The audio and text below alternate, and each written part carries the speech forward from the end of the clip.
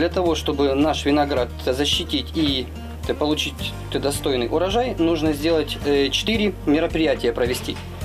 Первое, это идет обработка фунгицидами. Э, Или биофунгициды, или химии, или химические. Они токсичные, но они помогающие. Заболевания, которые существуют, э, это у нас идет мильть и идет аидиум. Грибок, который э, идет часто из почвы, он поднимается, ему некуда деваться, и он, оседает либо на гронь виноградной, либо идет под низ листа. В основном э, используются две обработки. Делается первая лечебная и вторая идет уже профилактическая.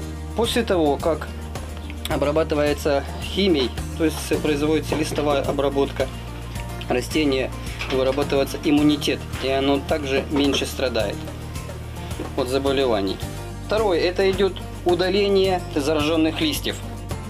Третье, идет у нас обрезка винограда. То есть трижды мы обрабатываем. Весна, лето и осень. А когда вышла почка, почка созревает, почка начинает открываться. И когда пятый, седьмой лист по полноценный появился, вот тогда нужно делать обработки некоторыми препаратами. И четвертое идет э, удобрение все-таки, листовое или корневое. Самое главное, что не нужно думать, что поздно обрабатывать. Не бывает поздно.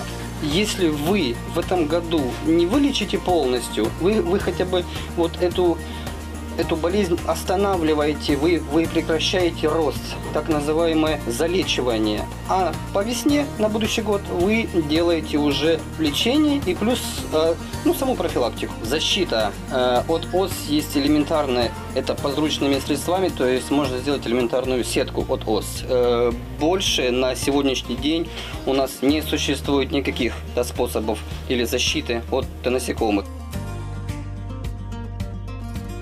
Если мы совокупно делаем вот эти четыре мероприятия проводим, не забываем э, об условиях. Это температура, это вечернее идет опрыскивание. И желательно делать теплой, не щелочной водой.